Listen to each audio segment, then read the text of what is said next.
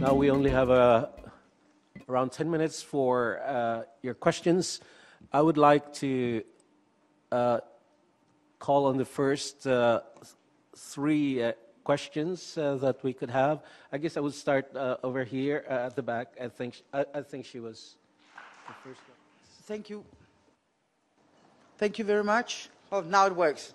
My name is Mette Gjerskov. I am from uh, the Danish Parliament. I'm a former minister. And um, first allow me to, to express my respect for all the work you do for, for women all over the world and, of course, Africa. Um, I was a bit provoked by the thought of new colonialism. Being from Europe, uh, of course, this hurts me. And so I would like to share a bit because I have been to Africa uh, and I know that there are different countries. And I've been to Zimbabwe and Mali and Tunisia and uh, Tanzania and Kenya and Rwanda, a lot of African countries. And I've spoken to a lot of African women. And, and, and my lesson learned from being from a coloni colonialistic uh, uh, society is do no harm allow people to make their own choices.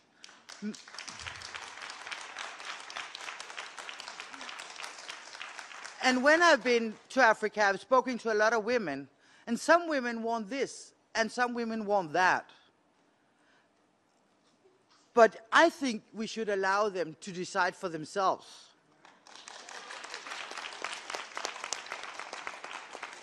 And that, is, that includes freely decide over their own body, their own sexuality, when and how many babies they want, if they want contraception, if they want abortion. We don't have to put it on anybody else. So, so if you want to make sure that you don't start a new colonization, make, let people make their own choices, decide over their own body. Thank you very much.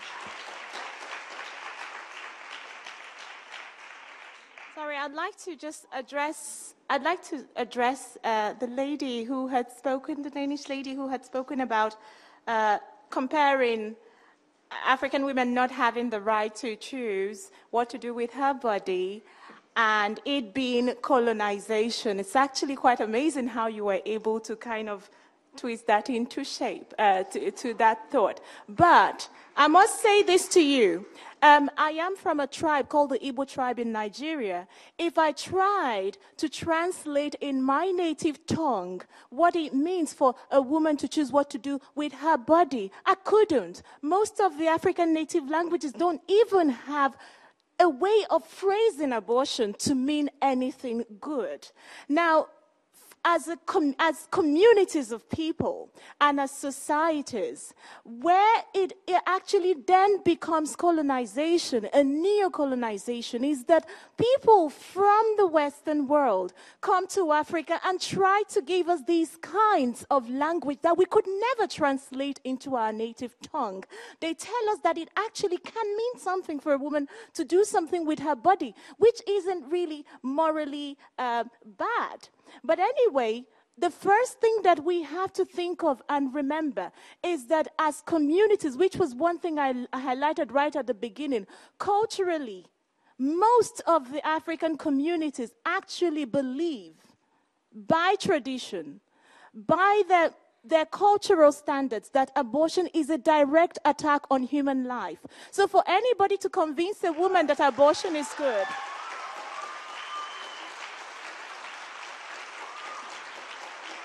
Sorry.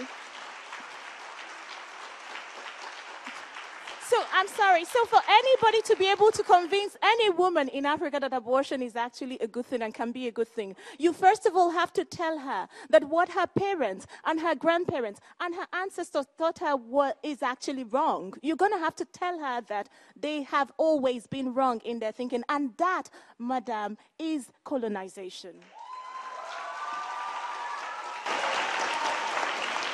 We are, uh.